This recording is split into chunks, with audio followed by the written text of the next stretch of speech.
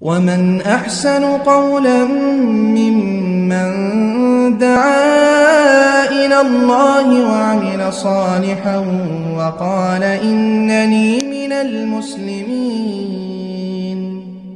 ইসলাম এসেছে তরবারির মাধ্যমে ভাই এই অভিযোগ আছে না নেই একটা ছোট্ট আপনাকে ঘটনা বলি ইসলাম কি তরবারির মধ্যে এসেছে ইতিহাস সাক্ষ্য দিচ্ছে যে বর্তমান আমাদের যে ভারতবর্ষ আপনার এটা বাংলাদেশ আর এটা তো আগে বাংলাদেশ ছিল না এগুলো কি ছিল একসঙ্গে ভারত, বাংলাদেশ, পাকিস্তান সব একত্রিত ছিল।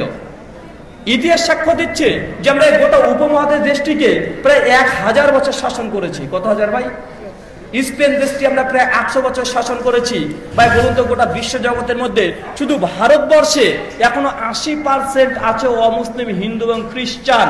আমরা ভারতবর্ষে এক হাজার বছর শাসন করেছি। সত্যি যদি আমরা তরবরের জোর দিয়েই যদি ইসলামকে প্রচার করতাম বা অমুসলিমকে মুসলিম বানাতাম, তো আমাদের ভারতবর্ষে কখনো আশি পার্সেন্ট এখনও হিন্দু থাকাটা স্বাভাবিক ছিল?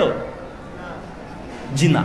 যদি জোরপূর্বক যদি আমরা তাদেরকে মুসলিম বানাতাম, যদি ক্ষমতা আমরা ছিলাম যদি এটাই সত্য হতো যে অভিযোগ যে আমরা জোরপূর্বক মানুষকে তরবরে দেখিয়ে ইসলাম কবুল করেছি, তো ভারতবর্ষে কখনো আশি পার্সেন্ট মানুষ হিন্দু থাকতে পারত না। পৃথিবীর সবচাইতে ছাপান্ন খানা দেশ আছে যেখানে ইসলামিক কান্ট্রি মানে ইসলামের জনসংখ্যা সবচাইতে বেশি।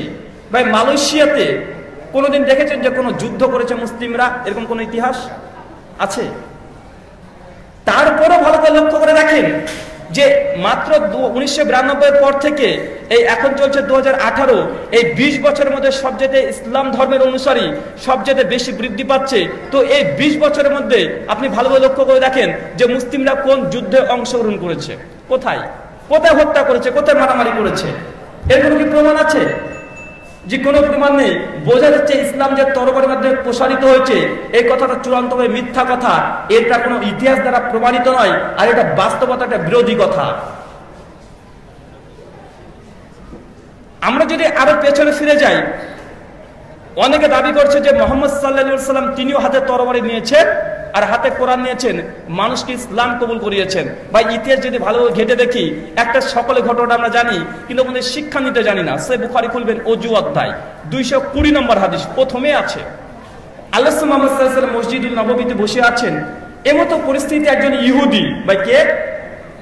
একজন ইহুদি। সে চলে এসেছে মসজিদে। আসার পরে তিনি মসজিদের মধ্যে পেশাব করেছেন। ঘটনা জানেন কি জানেন না? পেশাব করতে শুরু করেছেন, পেশাব যেহেতু শুরু করে দিয়েছেন, আর সাহাবার দিয়ে আনন্দ দেখে রাগান্বিত। আর সঙ্গে সঙ্গে খুব রাগান্বিত অবস্থায় তরবারি খাপ থেকে তরবারিটা বের করে ফেলেছে, আর আল্লাহ হাত তুলে বলছে, তোমরা থামো থামো, এখনই থামো। ওকে পেশাব করতে দাও। পেশাব যখন কমপ্লিট হয়েছে, সাহাবার দিয়ে রাগান্বিত যে মসজিদের মধ্যে পেশাব ফিরেছে এত বড় সাহস। বা কেউ সহ্য করবে? আপনার ঘরে যদি কেউ পেশাব ফেরেছে একটা বড় মানুষ, আপনি সেটাকে মানতে পারবেন? একটা ধর্মীয় স্থানে যেন ইবাদত করায়, সেখানে যদি কোনো ব্যক্তি, আবার বেধর্মী একজন, যে একজন ইহুদি, সে সে পেশাব ফিরছে, সাহাবার রাগান্বিত আলোচনা বলতে পেশাব ফিরতে দাও, আরাম করে পেশাবটা ফিরক অন্তত। আল্লাহর ঘর। পেশাব ফিরে কমপ্লিট হয়েছে। আল্লাহ তাকে ডাকছেন, যেদিকে এসো। ওকে ভালোভাবে বুঝিয়ে বলছেন যে এটা আল্লাহর ঘর, এটা ইবাদতের জায়গা। এখানে এইসব নোংরা কাজগুলো করতে হয় না তাকে বুঝিয়ে দিল। বলুন তো ভাই সাহাবার আল্লাহ তালা আমরা তরবারি তুলেছিলেন। আল্লাহ যদি তরবারির মাধ্যমে ইসলামকে প্রসারিত করতো বা তরবারির মাধ্যমে যদি মানুষকে হত্যা করা, এটা হতো, তো একটা মসজিদ একজন ব্যক্তি পেশাব ফিরছে, এর চেয়ে বড় কোনো অপরাধ থাকতে পারে? আল্লাহ তরবারি ব্যবহার করছে তরবকে থামিয়ে দিয়েছে। কোনটা? তরবকে থামিয়ে দিয়েছে। ভাই, এর চাইতে বড় কোনো প্রমাণ হতে পারে? একজন বেধর্মী, সে এসে মসজিদের মধ্যে সে পেশাব ফিরেছে। সবাই রাগান্বিত আলোচনা তোকে পেশাব ফিরতে দাও। এসে সে নসিহত করেছে, তাকে ছেড়ে দিয়েছে। এটা হচ্ছে ইসলামের শিক্ষা। আবার এই ধরনের অনুসারীদেরকে বলা হয় যে, আমরা নাকি সন্ত্রাসী, আমরা নাকি জঙ্গি। আরও অনেক ঘটনা আছে। সে বুখারি খুলবেন। চার হাজার একশো উনচল্লিশ নম্বর হাদিস। যে আল্লাহ মোহাম্মদ সাল্লাহ সাল্লাম, তিনি একদিন কোনো এক সফরে সাহাবারদি আল্লাহ তালা আনন্দকে নিয়ে বের হয়েছে, যখন অনেক গরম পড়ছে, তিনি একটু আশ্রয় নেওয়ার জন্য একটা জায়গাতে গিয়েছেন। আশ্রয় নিয়েছেন আল্লাহ কাছে, একটা তরবারি ছিল, একটা তরবারি। ভাই, আপনাকে খাস আমি দলিল দিচ্ছি, কোনগুলো বলেন তো? তাদের যেগুলো অভিযোগ, তাদের তরবারির মাধ্যমে ইসলাম প্রসারিত হয়েছে, তাদের তরবারি কোথায় কোথায় হাদিসে আছে, আর সেখানে কি ইসলাম তরবারির মধ্যে প্রসারিত হয়েছে, না তরবারিকে খাপের মধ্যে রাখার কথা বলেছে, সেই সব ঘটনাগুলো আপনাকে শোনাচ্ছি। আল্লাহ মোহাম্মদ সাল্লাম তার তরবারিটাকে গাছের উপরে ঝুলিয়ে রাখলেন। আসল ঘুমাচ্ছেন। এমতো পরিস্থিতি একজন ব্যক্তি এসে তরবারিটাকে নিয়েছে, কার তরবারি বলেন তো ভাই? আল্লাহ তরবারি। নিয়ে সঙ্গে সঙ্গে আল্লাহ গলা কাছে গিয়ে ধরেছে, আল্লাহ ঘুম ভেঙে গেছে।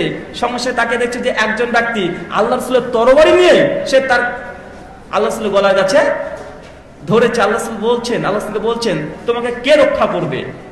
সঙ্গে সে আল্লাহ রসুল মোহাম্মদ সাল্লাহ বলছে, আমাকে তো রক্ষা আল্লাহ করবে। যে কথা বলেছে, সে ব্যক্তির হাত থেকে তরবটা পড়ে যায়, আর আল্লাহ হাতে তরবটা আবার ফিরে আসে মানে চলে আসে। আল্লাহ তাকে ধরেছে, তোমাকে কে রক্ষা করবে? তোমাকে কে রক্ষা করবে এবার? ভাই, বলুন তো এখানে আল্লাহ তরবারি দিয়ে তাকে ইসলাম কবুল করালেন? যে বলছে আপনার, আমাকে তো আপনি রক্ষা করবেন, বলছে, আমি রক্ষা করার মালিক নয়। রক্ষা যদি করতে পারে, এক আল্লাহ সুবান রক্ষা করতে পারে। সে ব্যক্তিকে ছেড়ে দিয়েছে, ওই ব্যক্তি পরবর্তী সময় ইসলাম কবুল করেছে। ভাই, বলুন তো, তরবারির জোরে না তরবারি ফেলে দেওয়ার কারণে? অনেকগুলো ঘটনা আছে। সেই বুখারি আর মুসলিমে এই ধরনের অনেক ঘটনা আছে যে তরবারির মাধ্যমে যে ইসলাম প্রচার হয়েছে, এমনটি নয়, বরং তরবারি ফেলে দিয়েছে। এই আদর্শ দেখে অমুসলিম ইসলাম কবল করেছে। আমরা বিখ্যাত ঘটনা জানি। সোমামা ইবনু ওসালের ঘটনা, জানি না ভাই? যে বেশ কিছু ব্যক্তি এই সোমাবিন ওসালকে মসজিদে ধরে নিয়ে এসে খুঁটির সঙ্গে বেঁধে রেখেছে। বেঁধে রেখার পরে আল্লাহ মোহাম্মদ এসে জিজ্ঞাসা করছে যে, তোমার কি অবস্থা? উনি বলছেন যে, আমার বেশ ভালোই অবস্থা। আল্লাহ পাল্টা তখন বলছে যে, আপনি যদি আমাকে হত্যা করেন তবে আপনি একজন হত্যাকারীকে অর্থাৎ খুনি ব্যক্তিকে হত্যা করলেন। যদি আপনি আমাকে ছেড়ে দেন, তো আপনার কৃতজ্ঞতা স্বীকার করব। আর যদি আপনি আমার মুক্তির পণ হিসেবে কিছু টাকা পয়সা চান, তবে আপনাকে টাকা পয়সা দিতেও রাজি আছি।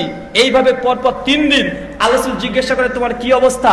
আর একই উত্তর দেয়, তিন দিনের পরে আল্লাহ মোহাম্মদাল্লাম ওই সময়কে ছেড়ে দিয়েছে। তিন দিন পর রাস্তাতে যেতে যেতে আবার ফিরে এসেছে। এসে আল্লাহ এসে বলছে যে, পৃথিবীতে সবচেয়ে বেশি যে ব্যক্তিকে আমি ঘৃণা করতাম, তিনি হচ্ছেন আপনি নবী মোহাম্মদ সাল্লাহ সাল্লাম আর যে শহরকে সবচেয়ে বেশি ঘৃণা করতাম, সে হচ্ছে আপনার শহর মদিনাকে। কিন্তু আপনাকে আল্লাহর কসম করে বলছি, যে এখন পৃথিবীতে যে ব্যক্তি আমার কাছে সবচেয়ে আপনজন এবং ভালোবাসার পাত্র, তিনি হচ্ছেন শুধুমাত্র মোহাম্মদ সাল্লাম আপনি এবং আপনার শহর মদিনা। আল্লাহ কাছে ইসলাম কবুল করলেন তিন দিন পর বা কিসের মাধ্যমে? আদর্শ দেখে।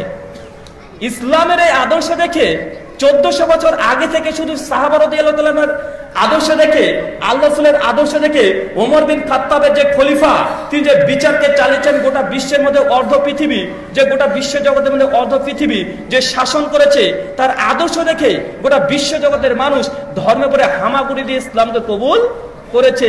এর উল্টো হয়নি যে তরবারির মাধ্যমে ইসলাম হয়েছে, এটা নয়। কারণ তরবারি ফেলে দেওয়া আদর্শ দেখে মানুষ ইসলাম কবুল করেছে। এটা একটা সত্য প্রমাণ। কিন্তু ইতিহাসের বিকল্প কেউ দেখেনি এখন পর্যন্ত। যারা অথেন্টিক কোন সোর্স দিয়ে যে ইসলাম তরবরের মাধ্যমে প্রসারিত, জিনা, এটা চূড়ান্ত মিথ্যা কথা। এই কথাগুলো আপনার মাধ্যমে কেউ জানতে পারলে সৎকায় জারিয়া হিসেবে গণ্য হবে এবং কেয়ামত পর্যন্ত এর স্বভাব পাবেন, ইনশাআল্লাহ।